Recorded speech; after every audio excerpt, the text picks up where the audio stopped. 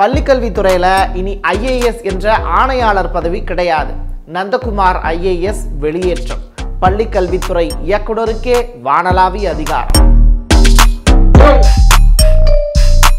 Nandakumar IAS மாற்றத்தால் ஆசிரியர்கள் மகிழ்ச்சி அரசு ஊழியர்களுக்கோ அதிர்ச்சி. தன்னுடைய பதவியை தானே மாத்திக்கக்கூடிய அதிகாரம் படைத்தவரா உதயச்சந்திரன் ஐஏஎஸ் தமிழ்நாட்டில் பிரச்சனைக்குரிய ஐஏஎஸ் அதிகாரிகள் யார் யாருன்னு அரசியல்வாதிகள் சுட்டி காட்டுறாங்க அப்படி என்ன ஐஏஎஸ் அதிகாரிகள் பிரச்சனை பண்றாங்க? தலைமைச் செயலாளர் இறையன்பு ஐஏஎஸ்ஸின் கடைசி ஆசை பழைய ஓய்வூதிய திட்டம். அது நிறைவேறுமா? காலாவதியாகுமா? IAS officers with Prasad signature தமிழ்நாட்டில் அமைச்சரவை மாற்றம் நடந்த கையோட ஐஏஎஸ் அதிகாரிகளுடைய மாற்றம் அப்படிங்கிற ஒரு விடயத்திலையும் தன்னுடைய கையெழுத்தை வச்சிருக்காரு முதலமைச்சர் மு க ஸ்டாலின். அதிகாரிகள் மாற்றம் எதனால் செய்யணும் அப்படின்னா ரெண்டாயிரத்தி இருபத்தி நான்கு மக்களவை தேர்தல் நெருங்கக்கூடிய நேரத்தில் நிதித்துறையிலிருந்து பள்ளிக்கல்வித்துறை வரைக்கும் ஏகப்பட்ட மாற்றங்களை செய்ய வேண்டிய காலகட்டம் வந்திருக்கு அப்படின்னு உதயச்சந்திரன் ஐஏஎஸ் கொடுத்த ஐடியாவின் பேரில் தான் இந்த ஐஏஎஸ் அதிகாரிகளின் மாற்றம் நிகழ்ந்திருக்கு அப்படின்னு சொல்கிறாங்க இப்படி இந்த ஐஏஎஸ் அதிகாரிகள் மாற்றத்தில் கடைசி நிலையில் இருக்கக்கூடிய பள்ளிக்கல்வித்துறையிலிருந்து சுகாதாரத்துறை வரைக்கும் பெரிய லெவலில் மாற்றம் அதுவும் சென்னை மாநகராட்சி கமிஷனர் வரைக்கும் மாற்றங்கள் நிகழ்ந்திருக்கு அப்படின்னா இந்த ஐஏஎஸ் மாற்றத்தில் ரொம்ப முக்கியமான விடயங்கள்லாம் இருக்குது ஒவ்வொன்றா பேசலாம். முக்கியமாக பள்ளிக்கல்வித்துறைக்கு புதிய ஆணையர் யார் அப்படிங்கிற கேள்வியோட நம்மளுடைய பயணத்தை தொடங்கலாம். புதிய ஆணையர் யாருன்னா அப்போ பள்ளிக்கல்வித்துறைக்கு வந்து ஏற்கனவே ஒருத்தர் ஆணையராக இருந்தார் நந்தகுமார் அப்படின்னு சொல்லிட்டு அவருடைய போஸ்டிங் என்னாச்சு அப்படின்னு கேட்கும்போது அவரை மனிதவள மேம்பாட்டுத்துறைக்கு மாற்றிருக்காங்க இப்படி பள்ளிக்கல்வித்துறை ஆணையர் மனிதவள மேம்பாட்டுத்துறை செயலாளராக மாற்றினதுக்கான காரணங்கள் நிறையா இருக்குது இந்த பள்ளிக்கல்வித்துறைக்கு அப்படின்னு சொல்லிட்டு ஏற்கனவே இயக்குனர்களுக்கு தான் பெரிய லெவலில் அதிகாரம் இருந்தது. அவங்க தான் போஸ்டிங் போடுறதுலேருந்து கவர்மெண்ட்டுக்கு டைரெக்டாக எஜுகேஷன் டிபார்ட்மெண்ட்டில் இருக்கக்கூடிய செய்திகள் எல்லாத்தையும் கொண்டு போய் சேர்க்கறது அவங்க தான் இத்தனை காலமாக கடந்த பள்ளிக்கல்வித்துறை உருவாக்கப்பட்ட காலத்தில் இருந்து இயக்குனருக்கு தான் வானளாவிய அதிகாரம். அந்த இயக்குனர் போஸ்டிங்கில் போய் உட்கார்றவங்க ஃபஸ்ட்டு ஒரு டீச்சராக இருப்பாங்க அதுக்கப்புறம் தலைமை ஆசிரியராக இருப்பாங்க அதுக்கப்புறம் அந்த மாவட்டத்தினுடைய முதன்மை கல் முதன்மை கல்வி அலுவலராக இருப்பாங்க சிஓவாக இருப்பாங்க. அதுக்கப்புறம் வந்து பார்த்திங்கன்னா அவங்க அடுத்தடுத்த நிலைகளுக்கு ஜேடி போஸ்டிங் போவாங்க. அதுக்கப்புறம் தான் பள்ளிக்கல்வித்துறை இயக்குனராக வருவாங்க. இப்படி அந்த பள்ளிக்கல்வித்துறையில் இருக்கக்கூடிய அந்த பேசிக்காக மாணவர்களுக்கும் ஆசிரியர்களுக்கும் இடையில் இருக்கக்கூடிய பிரச்சனையிலேருந்து நிர்வாக ரீதியாக இருக்கக்கூடிய பிரச்சனை வரைக்கும் அந்த பள்ளிக்கல்வித்துறை இயக்குனருக்கு எல்லாமே அத்துப்படியாக இருக்கும். அதனால தான் பள்ளிக்கல்வித்துறை இயக்குனர் போஸ்டிங்கை வந்து வானலாவிய அதிகாரமாக வச்சுருந்தாங்க.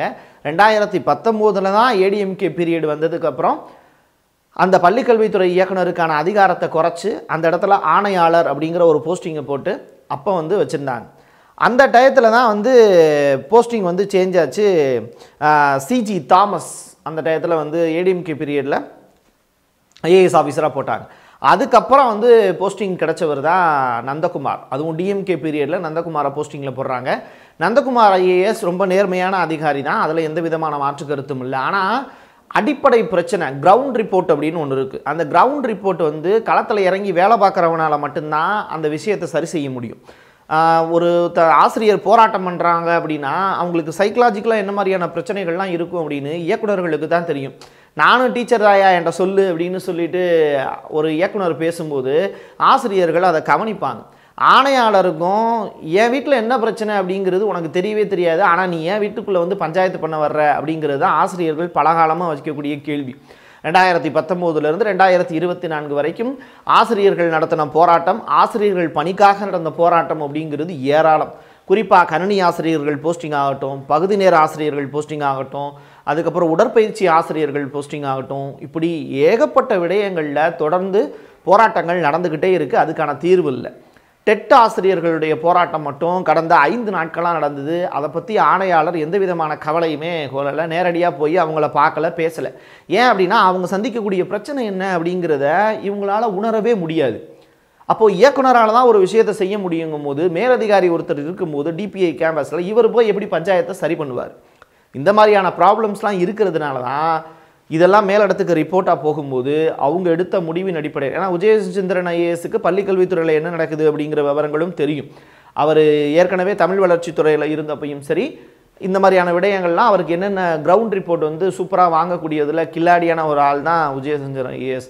சாதாரண வேலை பார்க்கக்கூடிய ஒரு ஸ்ட்ரிங் ரிப்போர்ட்டர்லேருந்து ஹெட் ஆஃபீஸில் இருக்கக்கூடிய எடிட்டர் வரைக்குமே நல்லா வெளிப்படைத்தன்மையோடு பேசக்கூடிய ஒரு நபர் தான் உதயச்சந்திரன் ஐஏஎஸ் அதனால் ஈஸியாக வந்து அவரால் கிரவுண்ட் ரிப்போர்ட்டை எடுத்துட முடியும். போராட்டக்காரங்க என்ன மனநிலையில் இருக்காங்க நாளைக்கு நைட்டு போராட்டத்தை முடிக்க போகிறாங்க அப்படின்னா அதை முடிக்க வைக்கிறதுக்கு என்ன செய்யணும் அப்படிங்கிறது வரைக்கும் யோசிக்கக்கூடியவர் தான் உதயச்சந்திரன் ஐஏஎஸ் அந்த வகையில் இந்த போஸ்டிங்கை வந்து போடுறதுலையாகட்டும் டெட் ஆசிரியர்கள் அஞ்சு நாள் போராட்டம் நடத்துகிறாங்க கடைசியில் உதய பொன்முடி அவர்கள் வந்து நேரடியாக வந்து பஞ்சாயத்தை பேசி சரி பண்ணாங்க அப்படிங்கிறதெல்லாம் இன்னொரு பக்கம்.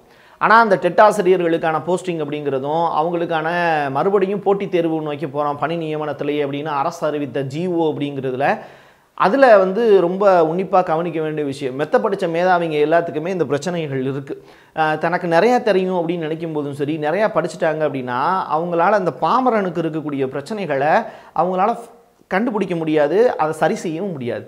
அந்த மாதிரியான பிரச்சனைகளும் மேலிடத்தில் இருக்கக்கூடிய ஐஏஎஸ் அதிகாரிகளுக்கு இருக்குங்கிறதையும் நம்ம சொல்ல வேண்டிய தேவை இருக்குது ஸோ அந்த அடிப்படையில் தான் நந்தகுமார் ஐஏஎஸ் கிரவுண்டில் இருக்கக்கூடிய பிரச்சனைகளை தன்னுடைய பிரச்சனையாக எடுத்துக்கல. குறிப்பாக வந்து அந்த ஆசிரியர்கள் இல்லாமல் பள்ளிக்கூடத்தில் வேலை பார்ப்பாங்கள்ல அவங்களுடைய டயத்தை வந்து மாற்றினார் பத்துலேருந்து பத்து மணிலேருந்து அஞ்சு நாற்பத்தஞ்சு வரைக்கும் அவங்க ஏற்கனவே இருந்தாங்க. அதுக்கப்புறம் வந்து ஒம்பது மணிலேருந்து நாலு நாற்பத்தஞ்சுக்குள்ளே அவங்களுடைய வேலையெல்லாம் முடிச்சுட்டு போகிற மாதிரியான ஏற்பாடுகளை பண்ணார். இந்த மாற்றம் ஒரு பெரிய லெவலில் பேசப்பட்டதாக இருந்தது. அதே மாதிரி விடுமுறை கொடுக்கறதுலையும் சரி ஆசிரியர்களை விடுமுறை நாட்களில் வர வச்சு வேலை வாங்குறதுலையும் சரி ஏற்கனவே பணிச்சுமை நிறையா இருக்குன்னு சொல்லிக்கிட்டு இருக்கக்கூடிய ஆசிரியர்கள் உங்களுக்கு என்ன வேலை இருக்குன்னு கேட்கக்கூடிய பொதுமக்கள் இந்த ரெண்டு பேருக்கு இடையில இருக்கக்கூடிய பிரச்சனையை சரி செய்யக்கூடிய வகையில் நந்தகுமார் ஐஏஎஸ் அவர்களுடைய செயல்பாடு அப்படிங்கிறது ஆசிரியர்களுக்கு பெரிய லெவலில் அதிர்ச்சி. அப்படிப்பட்ட நந்தகுமார் ஐஏஎஸ்னுடைய மாற்றம் அப்படிங்கிறதுக்கு ஆசிரியர்கள் பெரிய லெவலில் நிம்மதி பெருமூச்சு விட்டுருக்காங்க அப்படிங்கிறது தான். அடுத்த ஐஏஎஸ் ஆஃபீஸர் யார் அப்படின்னு ஆசிரியர்கள் பெரிய லெவலில் எதிர்பார்த்துக்கிட்டு இருந்த நேரத்தில் இந்த ரிப்போர்ட் ரொம்ப முக்கியமானது. அடுத்து பள்ளிக்கல்வித்துறைக்கு ஆணையாளர் அப்படிங்கிற போஸ்டிங் போட போகிறது இல்லை அப்படிங்கிறத கவர்மெண்ட் முடிவு பண்ணியிருக்காங்க. இந்த விஷயத்தை பிரசாத் சிக்னேச்சர் ஆசிரியர்களுக்கு ஒரு மகிழ்ச்சியான செய்தியாக பகிர்ந்துக்கிறது அதே நேரத்தில் அடுத்து பள்ளிக்கல்வித்துறை இயக்குனருடைய கட்டுப்பாட்டுக்குள்ளே தான் நீங்கள்லாம் வரப்போகிறீங்க இனிமேல் அப்போ போராட்டங்கள்லாம் நடக்காதா அப்படின்னு கேட்டிங்கன்னா தொடர்ந்து உரிமைகளுக்காக ஆசிரியர்கள் போராட்டம் நடத்துவாங்கங்கிறதுல எந்த மாற்று கருத்தும் இல்லை. அரசு ஊழியர்களுக்கு பெரிய லெவலிலான அதிர்ச்சி என்ன அப்படின்னா இந்த பென்ஷன் ஸ்கீம் அப்படிங்கிற ஒரு விஷயத்தில் பழைய ஓய்வூதிய திட்டத்தில் ஐஏஎஸ் அதிகாரிகள் ஏன் வந்து நடவடிக்கை எடுக்க மாட்டாங்க நிதித்துறையில் பெரிய லெவலில் பிரச்சனை இருக்குன்னு சொல்லிட்டு பிடிஆர் பழனிவேல் தியாகராஜன் அவர்களுடைய பதவி பணி மாற்றம் அப்படிங்கிறதே இந்த பழைய பென்ஷன் திட்டத்துக்கு அவர் அப்ரூவல் கொடுக்கல அப்படிங்கிற ஒரு விஷயத்தையும் மையப்படுத்தி சொல்கிறாங்க ஏன் அப்படின்னா கவர்மெண்ட்டுக்கு நிறையா நிதி நெருக்கடிகள் இருக்குது அப்படிப்பட்ட சூழ்நிலையில் நான் எல்லாரையும் தான் பார்க்க முடியும். ஒரே ஒரு சமூகத்தை மட்டும் நான் பார்க்க முடியாது அப்படின்னு சொல்லியிருந்தாங்க. அதனால தான் கவர்மெண்ட்டு ஒரு பெரிய ஸ்கீம் ஒன்று கொண்டு வந்திருந்தாங்க. என்ன அப்படின்னா இந்த ரிட்டையர்ட் ஆகக்கூடிய ஏஜை வந்து பார்த்திங்கன்னா கால நீட்டிப்பு செஞ்சாங்க. மறுபடியும் அந்த கால நீட்டிப்பை திருப்பி வாங்கினாங்க. அதுக்கப்புறம் வந்து சில டிபார்ட்மெண்ட்ஸ் வந்து இந்த வயது வரைக்கும் நீங்கள் வேலை பார்க்கலாம் அப்படின்னு சொல்லி கொண்டு வந்திருந்தாங்க. அது காரணம் என்ன அப்படின்னா அவங்க ஓய்வு பெற்றுட்டாங்க அப்படின்னா அவங்களுக்கான அந்த பணப்பலன் அப்படிங்கிறது கொடுக்கணும். இந்த மாதிரியான பிரச்சனைகளில் பள்ளிக்கல்வித்துறையில் இருக்கக்கூடிய ஐஏஎஸ் அதிகாரிக்கு பெரிய லெவலில் பிரச்சனை இருந்தது. ஒரு ஆசிரியர்கள் வந்து ஓய்வு பெறுறாங்க அப்படின்னா அவங்க டைரெக்டாக வந்து அவங்களுக்கான பலப்பலன்களை உடனே கொடுத்துடணும்.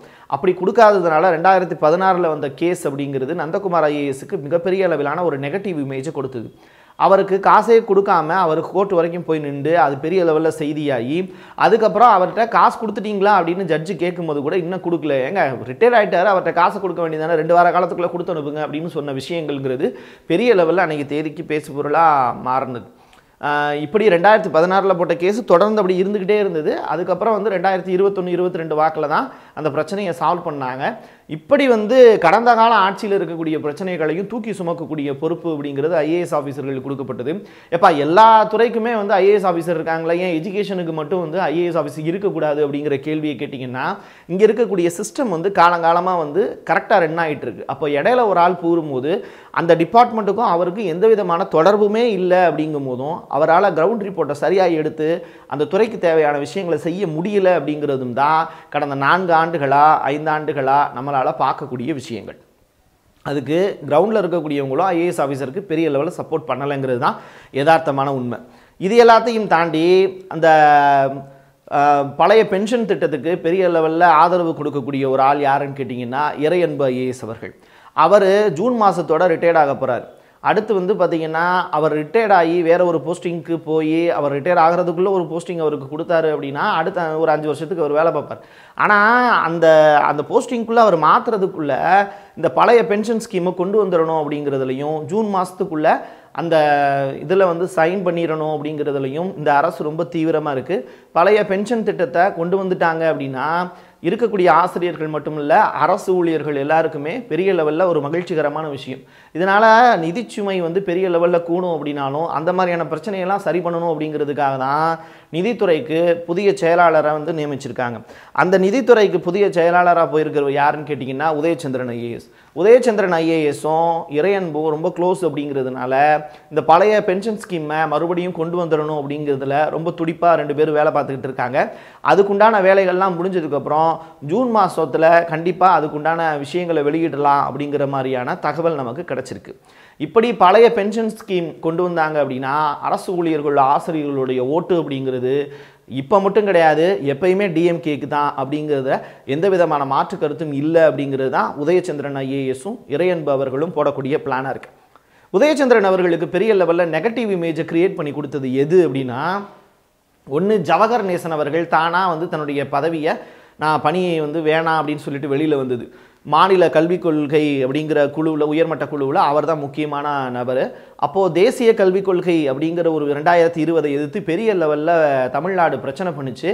அப்போது மாநில கல்விக் கொள்கையை உருவாக்குவோம்னு சொல்லிட்டு அமைக்கப்பட்ட கமிட்டியில் முக்கியமான ஆள் தான் ஜவஹர் நேசன்.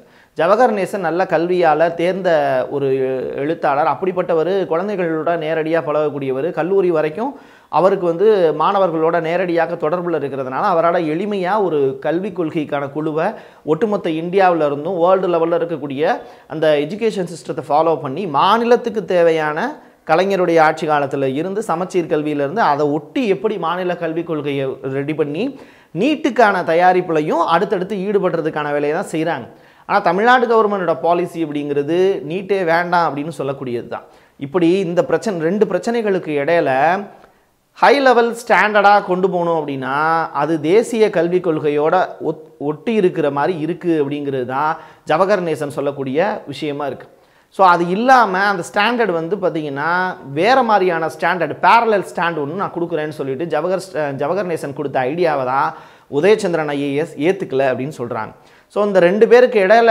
நடந்த பிரச்சனை அப்படிங்கிறது வார் ரூம் மாதிரி ஆயிடுச்சு. அந்த வார் ரூமில் யாருக்கு அதிகாரம் இருக்கோ அவங்களுடைய பேச்சு தான் அங்கே எடுபடும். அப்போது உதயச்சந்திரன் ஐஏஎஸ் நான் என்ன சொல்கிறேனோ அதை நீங்கள் கேளுங்க. நீங்கள் சொல்கிறத கேட்கக்கூடிய இடத்துல நான் இல்லை அப்படின்னு ஒரே வார்த்தையில் நேரமின்மை காரணமாக அவர் பேசின அந்த ஸ்டேட்மெண்ட் அப்படிங்கிறது ஜவஹர் நேசனுக்கு இடித்து அவர் கடைசியில் அந்த போஸ்டிங்கில் இருந்தே வெளில வந்துட்டார். உதயச்சந்திரன் ஐஏஎஸ் தான் காரணங்கிற ஓப்பன் ஸ்டேட்மெண்ட் கொடுத்தாரு. அது ரிலேட்டடாக ப்ரெஸ் கிளப்பில் வந்து அவர் ப்ரெஸ் மீட் வைக்கும்போது கூட பெரிய லெவலில் செய்தியாளர்கள் யாரும் அதை கவர் பண்ணலை. செய்தி சேனல்களும் கவர் பண்ணலை. அதுக்கான காரணம் ரெண்டவுன் பிரச்சனையா? இல்லை செய்திகள் வந்து முன்னுக்கு பின் நிறையா செய்திகள் வந்து ரெண்டவுனில் வந்து உட்காந்ததா அதனால வந்து அந்த செய்திகள் வந்து தவிர்க்கப்பட்டதா அப்படிங்கிறதுலாம் நமக்கு தெரியாது. அது அந்தந்த சேனல்ஸ் தான் முடிவு பண்ணணும். ஸோ அந்த வகையில் வந்து ஜவஹர் நேசன் வந்து செய்தியாளர்கள் மத்தியிலையும் அவர் புறக்கணிக்கப்பட்டார் அப்படிங்கிறது தான் யதார்த்தமான உண்மை.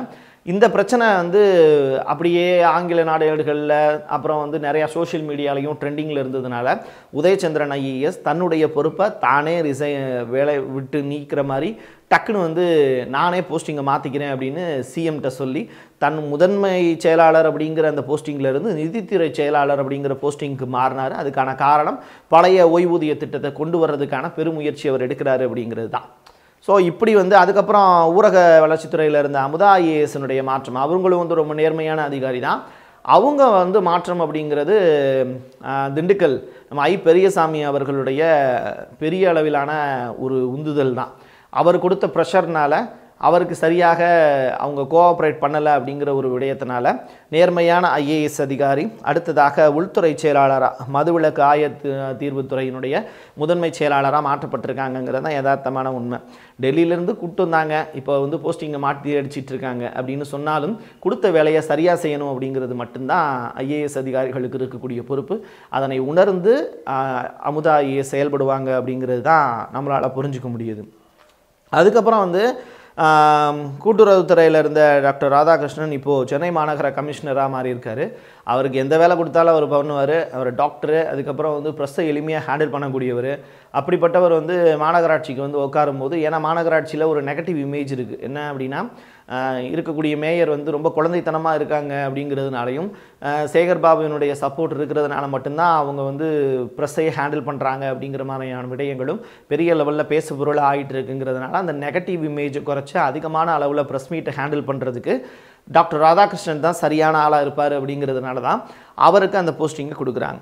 ஸோ இப்படி பதினான்கு ஐஏஎஸ் அதிகாரிகளுடைய மாற்றம் அப்படிங்கிறது பெரிய லெவலில் பேசப்பட்ட ஒரு விஷயம்.